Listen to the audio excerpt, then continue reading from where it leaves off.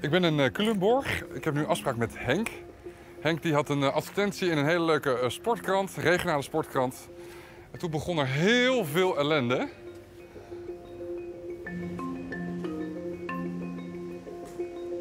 Ja.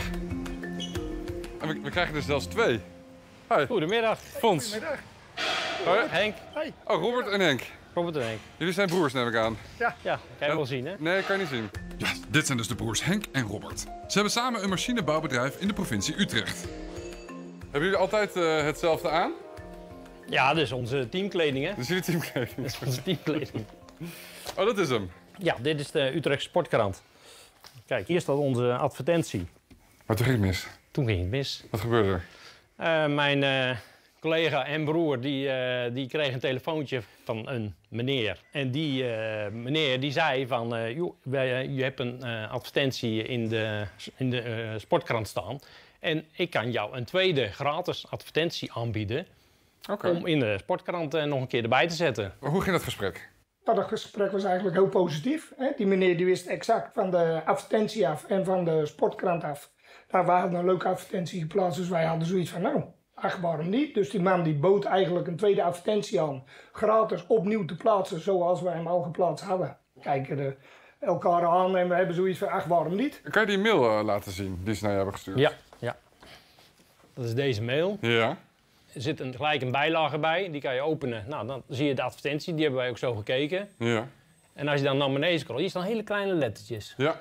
Heel kleine lettertjes. Maar als je dan dit ziet en je scrolt zo naar beneden, indien akkoord.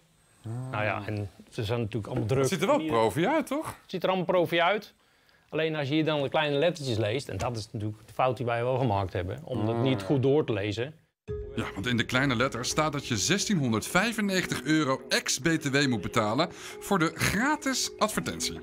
Ik denk, ja, dat is een nepfactuur. Hè? Je krijgt wel eens vaker van die nepfacturen. Ja, ja, ja. Ik denk, daar weet ik helemaal niks van, dus uh, door, up, door, In de prullenbak. door de biervernieteraar.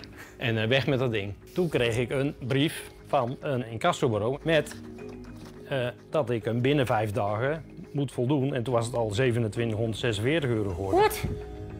Rente, incassokosten. Toen was het 3195,20 euro.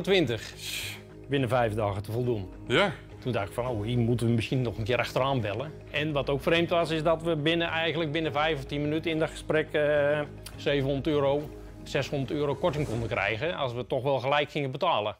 We ontvangen dus veel klachten over Bakker Media Groep, maar ook Cool Down Kids. Ja, en het blijft niet bij die twee bedrijfsnamen. Er zijn ook klachten over bedrijfspeurders.nl. En al deze bedrijfsnamen staan onder één naam.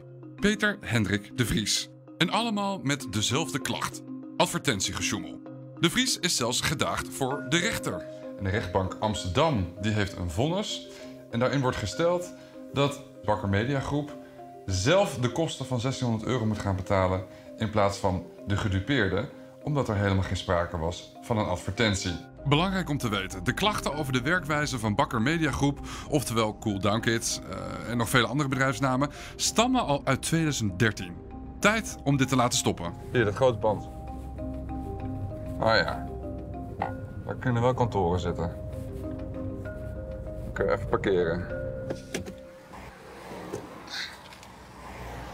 Het lijkt gewoon op een schoolgebouw, joh.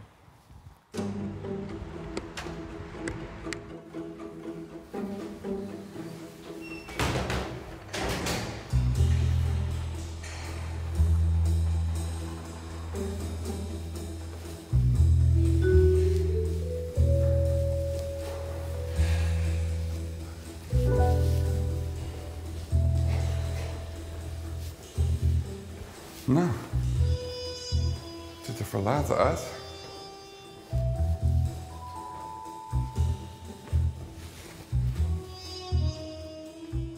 Hallo.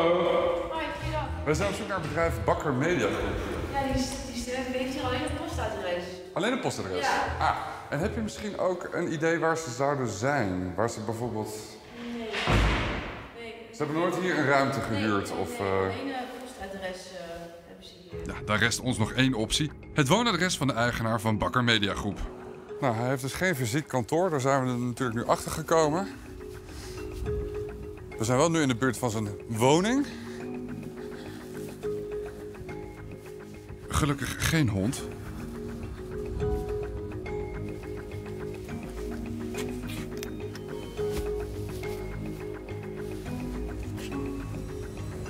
Het lijkt verlaten. Hallo, er komt een familielid het terrein op. Wij zijn op zoek naar eh, Peter Hendrik. Ja, we krijgen de bevestiging dat Peter Hendrik daar woont.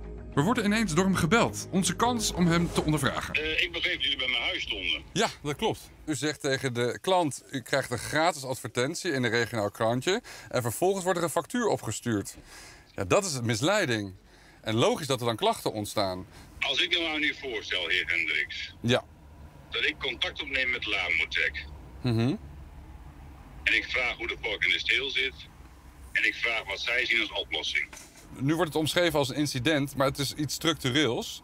Dus het is van belang dat u dus niet meer op deze manier werkt. Alleen maar, hou me te goede, heer eh, Hendricks. Als ik aangeef dat ik contact met ze opneem en ik probeer het op te lossen, dan Ja. doe ik dat. En dan bericht, dan bericht ik of u, of u belt met Lamotec. Waar het mij om gaat, is dat wij geen klachten meer krijgen over uw bedrijf.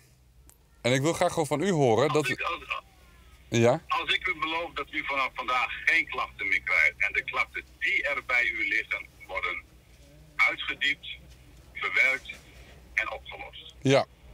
Staat u er open voor? En dat er geen nieuwe gedupeerden meer komen. Dat beloof ik. Dat belooft u. Dus daarmee bekent u ook dat er fouten zijn gemaakt. Nee, dat geef ik niet aan. Kijk, een gedupeerde is iemand die voor zijn gevoel iets moet betalen wat hij niet wil. Of zij. Nou, dat niet alleen. Als het sprake is van misleiding. Ja.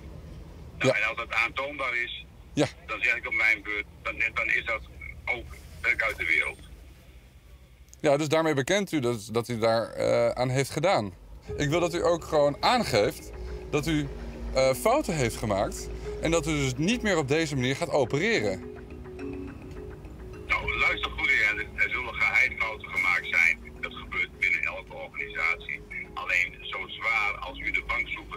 Aan te drukken, er is geen sprake van, van, van misleiding of dwaling.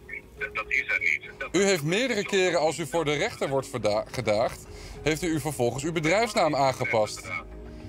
U bent van Cool Down Kids, bent u naar Bakker Media Groep gegaan.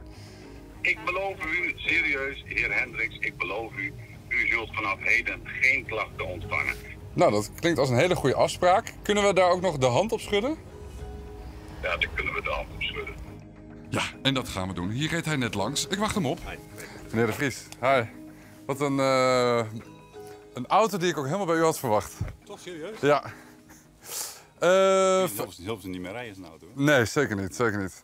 Maar de afspraak is nu eh, helder, toch? Ja, dat denk ik wel. En dat is dus dat er geen klachten meer komen. En als er wat komt, gelijk doorspelen, dan wordt het gelijk opgelost. Ja. En dan eh, eh, is het bij deze hopelijk eh, afgesloten. Ja.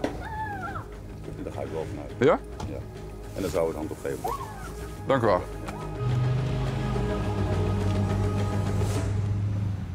Denk je nou, wow, deze reportage was steengoed. Dan kan je een like geven. Maar wil je meer van deze reportages zien? Abonneer dan.